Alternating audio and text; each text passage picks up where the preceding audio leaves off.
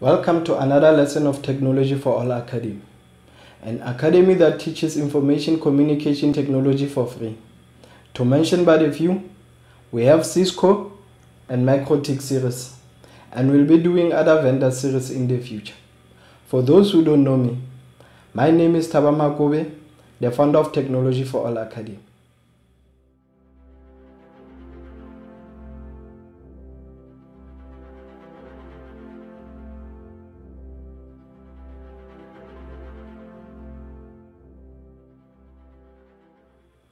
In today's lesson, our focus will be on configuring Cisco router to access and supply internet to our clients or host.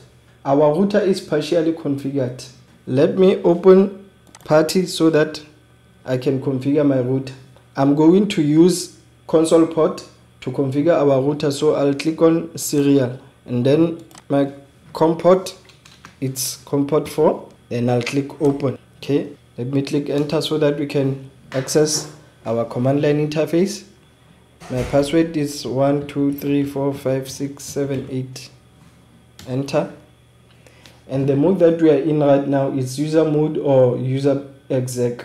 Let me give the command enable so that we can go to privilege mode or privilege exec. And our password is 12345678 enter and now the mode that we are in is privilege mode or privilege exec. I would like to give a command show running configuration so that I can show the current configuration. Okay, let's give the command show running configuration. Let me press spacebar so that we can access everything that has been configured.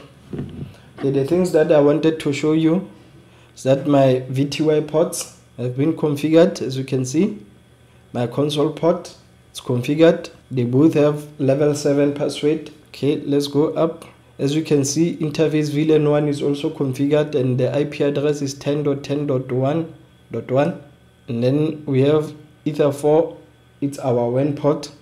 And then 0 to fast ethernet 3 those belong to vlan 1 meaning they are layer 2 ports. Let's go up. As you can see enable secret. We also configured it our host name as you can see is lab router right now let me give the command show ip interface brief. Enter. And then as you can see fast ethernet 3 it's up. And fast ethernet 4 it's also up. And as you can see also vlan 1 is up. And vlan 1 is the only one with an ip address.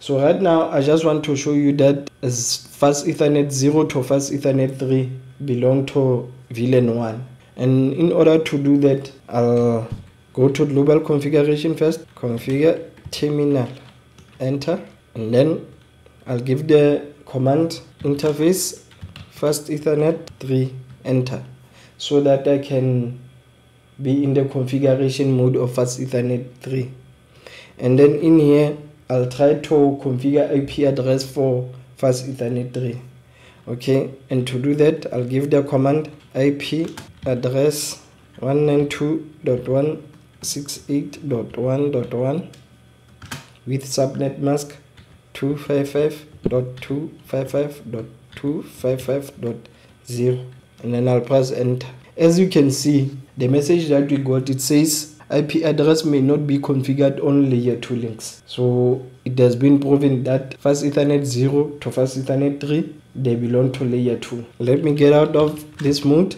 and I'm back into privilege mode. Let's try to ping Google DNS to see if our router has access to the internet. Ping google.com, enter. And as you can see, it's saying translating google.com domain server. So maybe we didn't reach it because of we don't have a DNS server. So let's try it using the IP address of Google DNS, which is 8.8.8.8.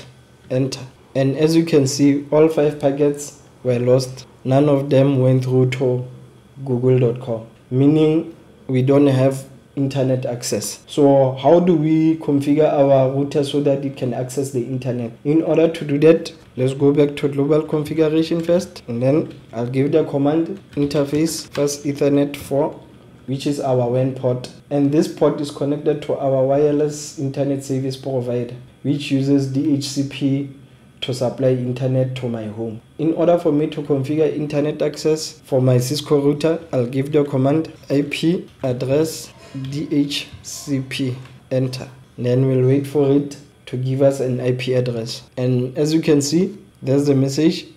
DHCP6 address assigned, interface fast Ethernet 4 assigned the DHCP address 10.10.0.252 with subnet mask 255.255.255.0 okay let me give the command do show ip interface brief enter and as you can see there it is. Fast ethernet for 10.10.0.252 and you can see the status is up the protocol is up. Status means it's physically up and protocol means it's logically up. Okay right now let me give the command do ping google.com and see if we can get it or not. And as you can see right now all our packets were successful. Our cisco router is able to access the internet. And even if i can give it ping 8.8.8 it will go through as you can see now our cisco router is able to access the internet. Let me go to my client. I'll type cmd so that we can access the command line interface or the command prompt. Okay in our command prompt let's try to ping google.com again here from our host site. And as you can see ping request could not find the host google.com please check the name and try again.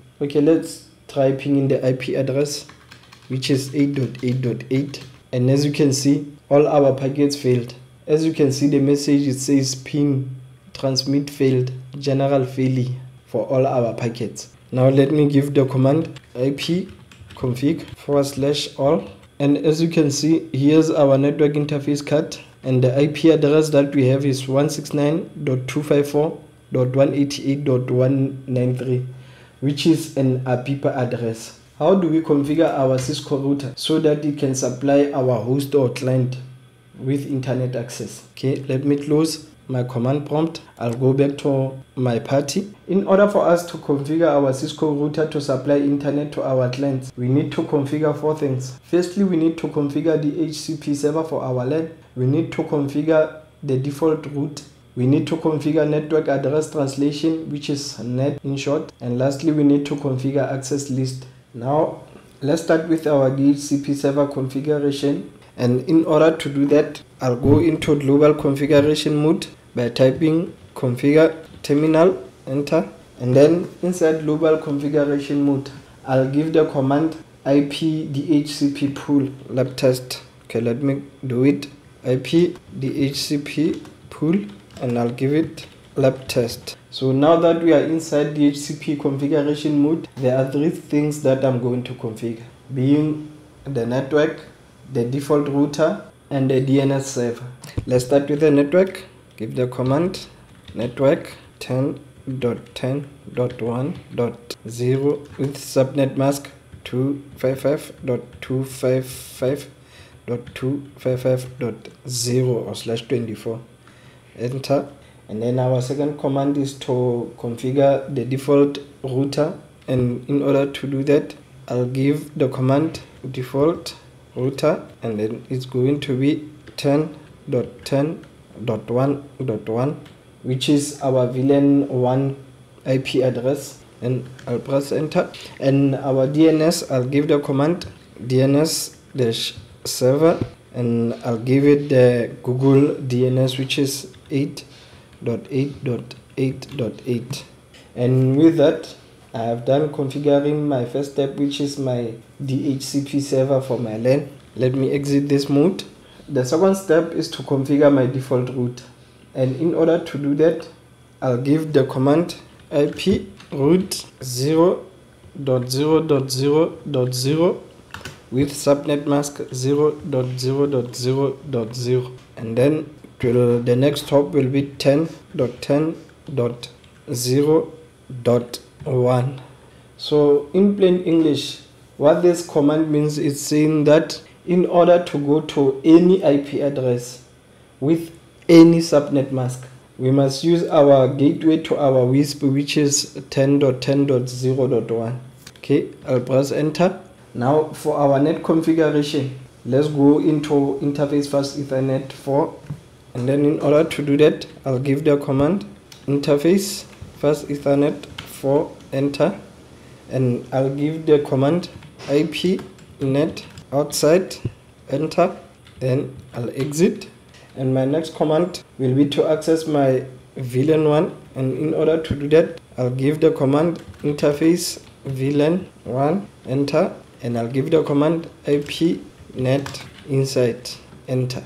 We are not yet done with our NAT configuration but before we can finish it we have to configure our access list first. And in order to do that I'll give the command ip access list. My mistake. I have to go out first of the interface mode okay exit. And then I'll give the command ip access list standard. And I'll give it the name lab test. And now that we are inside the access list configuration mode I'll give permit 10.10.1.0 with wildcard mask of 0.0.0.255 what this command is saying is that any IP address that starts with 10.10.1 I will let it through. And the last digit of the wildcard mask that's saying 255 meaning any number from 1 to 254 it will go through.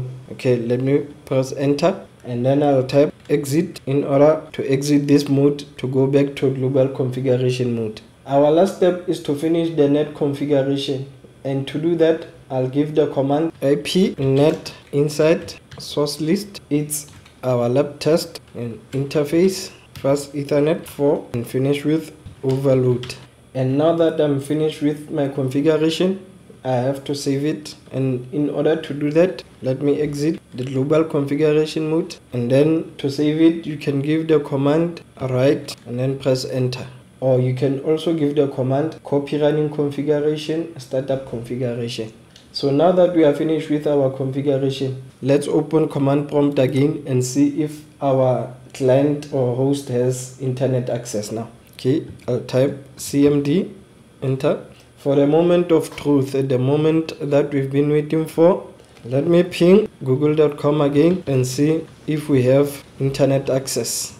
And as you can see right now all our packets went through to google.com meaning we have internet access. And then we can try to ping 8.8.8.8 again. Let's see if we can get it. And as you can see all our packets went through. Now let me minimize and then let me close my PuTTY okay? Let me open google chrome and see if i can access the internet okay? Let's try cisco.com enter. And as you can see and as you can see we are able to reach the website of cisco.com meaning our client now has internet. Hope this lesson was informative and beneficial.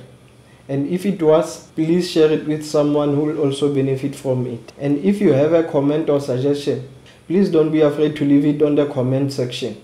Last but not least, please don't forget to subscribe and hit the notification button so that you can be notified whenever we drop another lesson. Let me love and leave you. Have a blessed day and thank you for watching.